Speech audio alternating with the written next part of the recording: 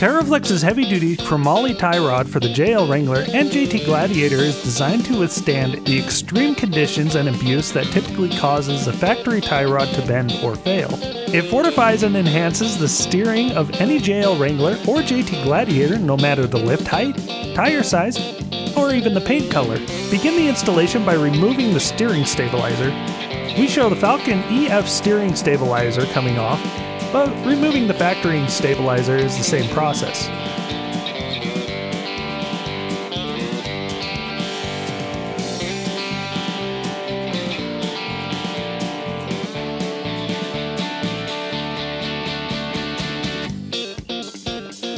Remove the bolt connecting the track bar to the axle.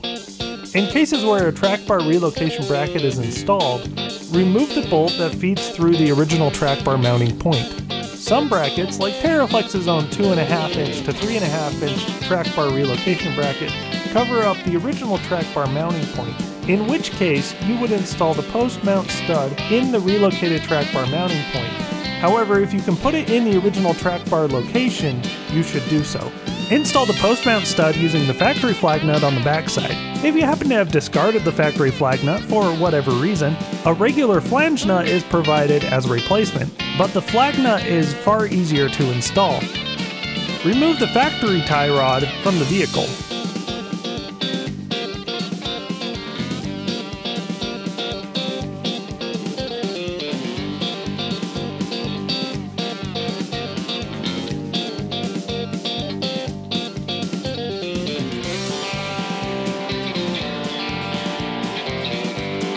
When you take the TeraFlex tie rod out of the packaging, you will need to install the tie rod ends. The tie rod should already have anti-seize on the threads, but double check that before you feed the rod ends onto the tie rod. Be aware that the side marked with the line has left-handed threads that correspond to the rod end also marked with a line on the jam nut.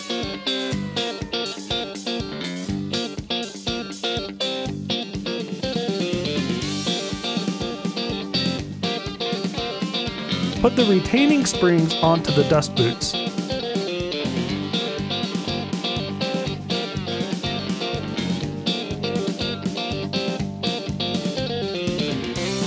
Install the TeraFlex tie rod onto the vehicle.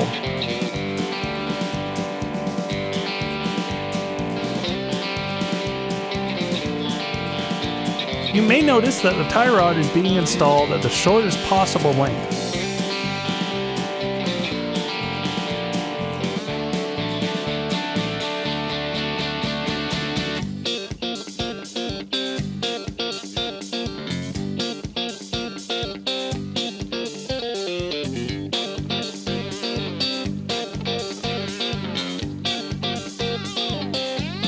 If you tighten the ball joint hardware using an air gun like we do, you may need a second person to push up on the rod end to keep the thing from spinning.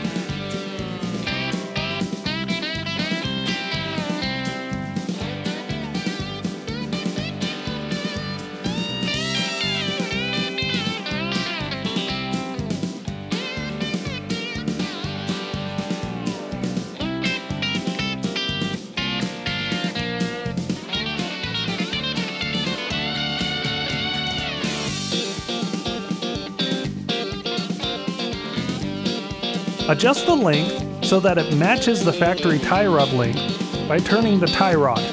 This will ensure that the rod ends are pushed out evenly from the center.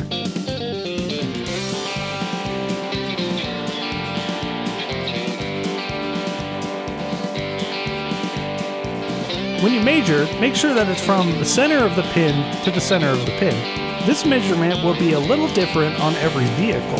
For this reason, it is important that when you are finished, you get an alignment from a shop that has experience with off-road vehicles. Make sure the wheels are straight and that the studs and the tie rod ends are straight up and down, and then tighten down the jam nuts. Remember that one side has left-handed threads. Before installing a steering stabilizer, make sure that the wheels are straight. If you are reinstalling the factory steering stabilizer, loosely install the clamp on the tie rod end.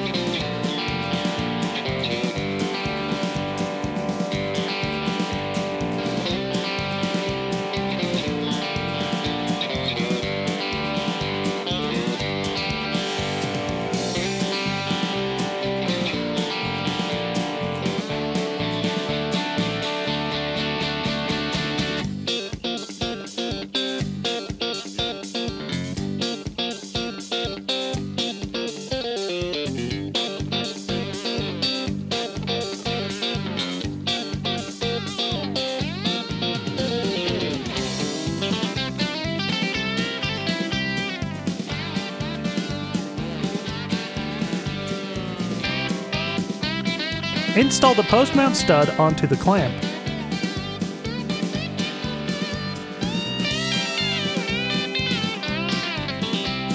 Install the steering stabilizer onto the axle end.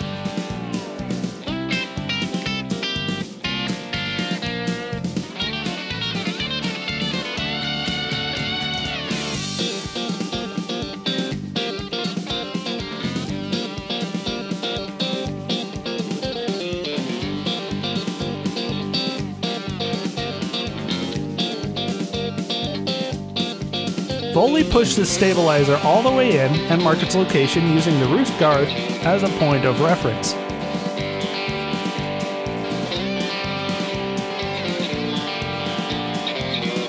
Pull the stabilizer out all the way, measure the length, and then mark the halfway point. Set the stabilizer to the halfway point, adjust the clamp's position and connect the stabilizer to the clamp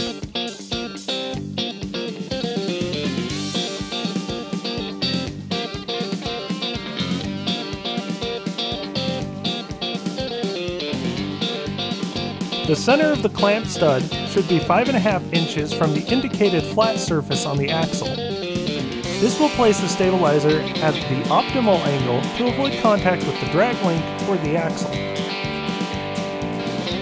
Tighten down all the hardware and you're done.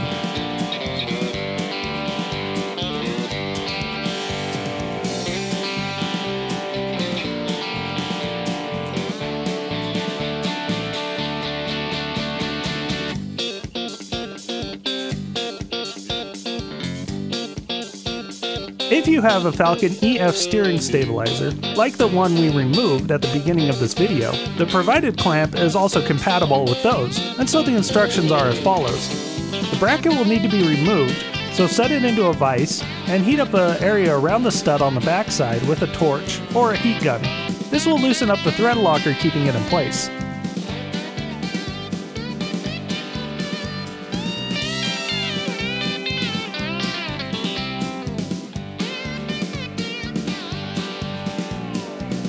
Turn the stud clockwise to remove it from the bracket.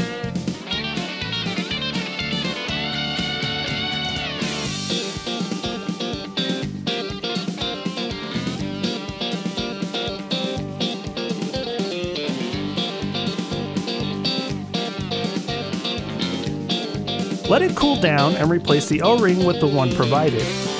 Put some thread locker onto the stud and feed the top of the clamp onto it. Place the clamp into the vise using some rags to protect it, and tighten the stud. You will still be able to rotate the clamp once the stud is tight, so you don't have to worry about aligning it at all. Attach the Falcon stabilizer to the axle with the clamp resting on the tie rod.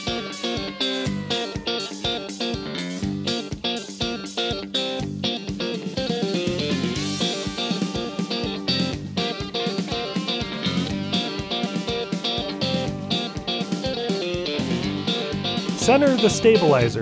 You should be able to see 4 inches of chrome shaft on either side of the stabilizer body. To make sure the stabilizer is angled properly, measure 5.5 inches from the indicated flat surface on the axle to the center of the shaft. Install the bottom of the clamp